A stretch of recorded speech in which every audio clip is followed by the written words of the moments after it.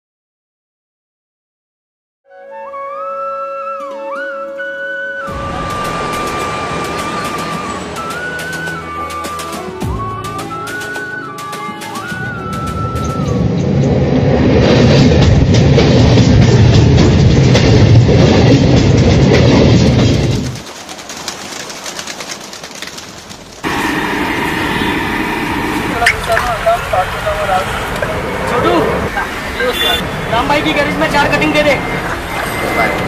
और सुन डायरी में लिखवा लेना।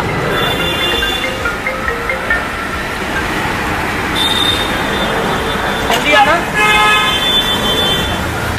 याद रहे, हमें हिंदुस्तान से हर हाल में कश्मीर को हासिल करना है। चाहे कुछ भी हो जाए, और जो भी रास्ते में आए, उसे खत्म कर दो।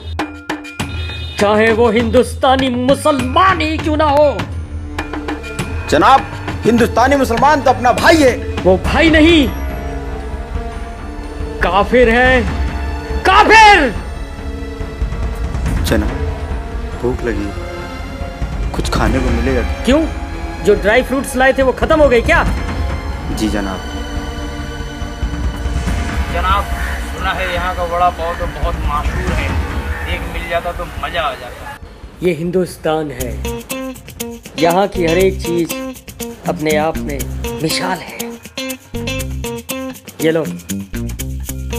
तुम लोग सब ले लेना और एक मेरे लिए भी ले आना। हाँ याद रखना। मिर्ची ज़रूर लाना। जनाब ये नोट तो बंद हो चुकी है। हमारे पास यही है जो हमें वहाँ से मिला है। और यहाँ के वज़ीर आला ने सारा सिस्टम बदल दिया। बर्बाद कर दिया। धंधा चौपट हो गया है चौपट! पागल हो गया हूँ मैं। पागल! नई नोट छापने वाली मशीन में अभी वक्त लगेगा। पुरानी मशीनें सब बेकार हो गई है। जो है इसी से काम चला। जो कुछ हो रहा है इसी से कर जा! जनाब हम इस मकसद में ज़रूर कामयाब होंगे। इंशाल्लाह। सुन। ये मुंबई है। यहाँ साहिब की सरकार है। और साहिब की सरकार के आगे मानो सब बेकार है। और और साला ये सब बेकार है। अगर सामने पड़ गए साहिब के छोकरे तो समझो तो ऐसे कटोगे जैसे ईद पर कटते हैं बकरे। जा! इसी से काम चला। और मेरा भेजा खराब मत कर, नहीं तो सबको साला इसी से ठोक। जा।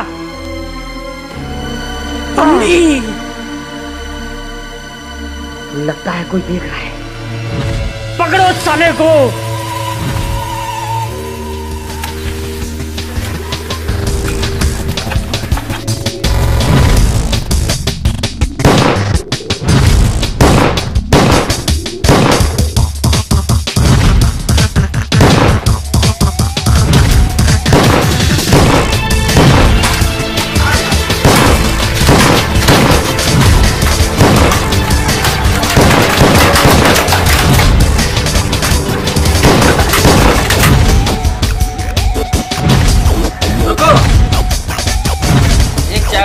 पूरा इंदौर बंद करके तुम सबकी नींद उड़ा सकता है। तो दूसरा ये चाय वाला तुम लोग की वाट लगा सकता है।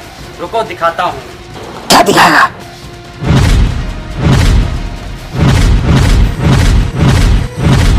मिर्ची बम। साले कश्मीर लेने की बात करते हैं और एक मिर्ची बम से डरते हैं। भारत माता की जय।